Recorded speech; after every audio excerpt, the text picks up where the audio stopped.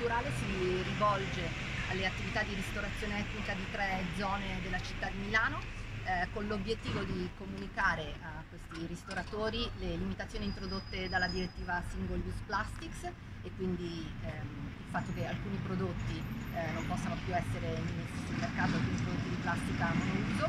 e ehm, con l'obiettivo quindi di eh, migliorare anche la raccolta differenziata di queste attività di ristorazione. Eh, operiamo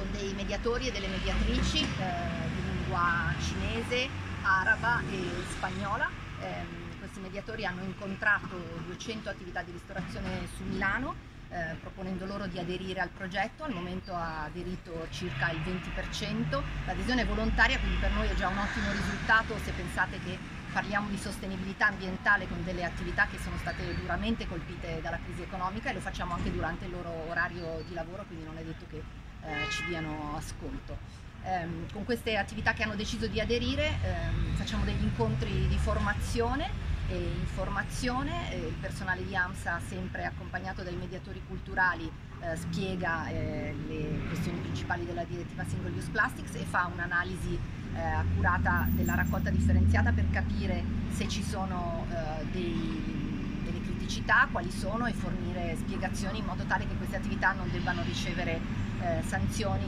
in futuro. Il progetto terminerà a settembre e quindi per allora siamo